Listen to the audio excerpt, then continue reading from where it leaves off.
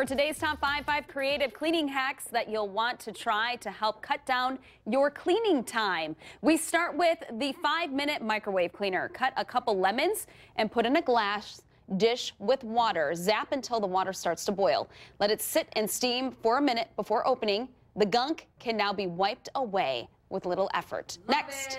Yeah, I've never tried it, but I'm going to. Uh-huh. A foolproof ceiling fan cleaner.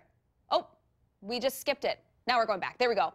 Hook an old pillowcase over one fan blade at a time and slowly wipe it backward. The blade will be clean and the dust will be trapped inside. Here's a grease stain fixer. Need something for those greasy fingerprints on the walls? Cover the stains with white chalk. Wait a few minutes and then wipe the chalk away with a damp cloth. Works on clothes too. This is definitely needed during the winter season in Wisconsin. A quick dry for wet shoes and gloves. Shove some crumpled newspaper inside to soak it all up. A bag of plain uncooked rice works too. And finally, a no fuss blender cleaner. Kind of common sense here, but just fill it with warm water and a drop of dish soap and then turn it on and blend for a few seconds. Dump, rinse with clean water and dry. There you have it.